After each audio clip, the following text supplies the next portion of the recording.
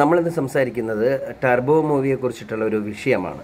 അപ്പോൾ ഇന്ന് സോഷ്യൽ മീഡിയയിൽ നിരവധി നെഗറ്റീവ് കമന്റുകളാണ് നമ്മുടെ മമ്മൂട്ടിക്കെതിരെ ഉയർന്നു പൊങ്ങുന്നത്.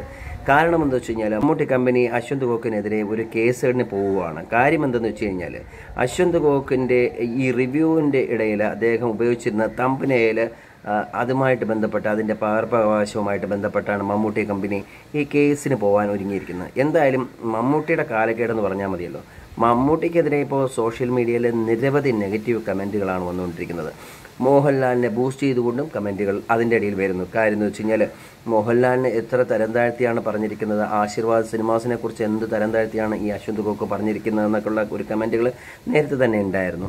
പക്ഷേ അതിനൊന്നും മോഹൻലാൽ പ്രതികരിച്ചിരുന്നില്ല. പക്ഷേ മമ്മൂട്ടി ഒരു ചെറിയ നിസാര കേസിൽ ഇതുപോലുള്ള ബ്ലോഗർമാരെ ഇങ്ങനെ കേസിന് പോകുന്ന ഒരു രീതി ശരിയല്ല എന്ന് പറഞ്ഞുകൊണ്ടാണ് സോഷ്യൽ മീഡിയ ഉയർത്തെഴുന്നേറ്റിരിക്കുന്നത്. എന്തായാലും മമ്മൂട്ടിയുടെ ശനിദശ എന്ന് മാത്രമേ നമുക്ക് പറയാൻ കഴിയുള്ളൂ.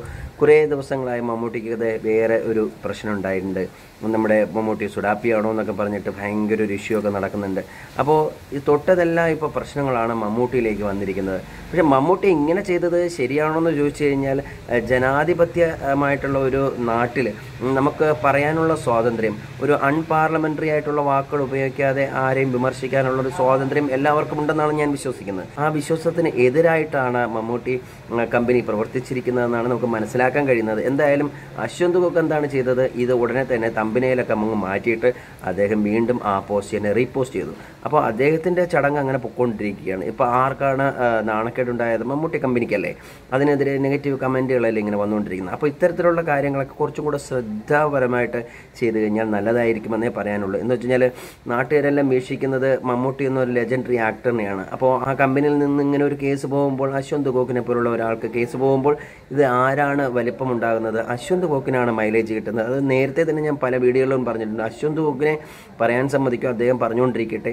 നമ്മൾ നമ്മൾ പ്രവർത്തികൾ ചെയ്തുകൊണ്ടിരുന്നു കഴിഞ്ഞാൽ ഇതൊരു കാലം കഴിയുമ്പോൾ അതങ്ങ് നിന്നു പോകും ആരും ശ്രദ്ധിക്കാതാവും. അല്ലെങ്കിൽ ശ്രദ്ധിക്കുന്നവർക്ക് വലിയ പ്രശ്നങ്ങളൊന്നും ഇല്ലാത്ത രീതിയിൽ. ഇപ്പോൾ നമ്മൾ റിയാക്ട് ചെയ്യാൻ പോകുമ്പോഴാണ് അശ്വന്ത് കോക്ക് കയറി അങ്ങ് വലുതാവുന്നത്. ഇപ്പോൾ അശ്വന്ത് കോക്കിന് നല്ല മൈലേജും കിട്ടി.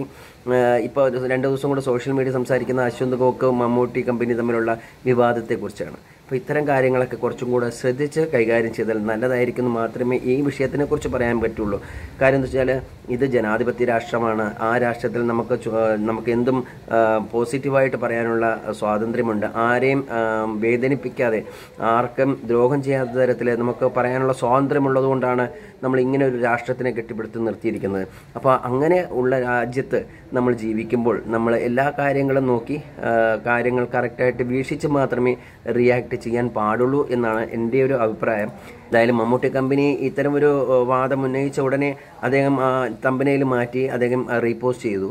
പക്ഷേ ഇത് മൈലേജ് കിട്ടിയത് അശ്വന്ത് ഗോക്കിനാണ് അപ്പോൾ അത് നെഗറ്റീവ് കമന്റുകൾ വരുന്നത് മമ്മൂട്ടിക്കെതിരെയാണ്. അപ്പോൾ ഇത്തരം കാര്യങ്ങൾ കുറച്ചും കൂടെ വ്യക്തമായിട്ട് പഠിച്ചതിന് ശേഷം ചെയ്യുന്നതായിരിക്കും നല്ലതെന്ന് മാത്രം പറഞ്ഞുകൊണ്ട് നിർത്തുന്നു. Thank very much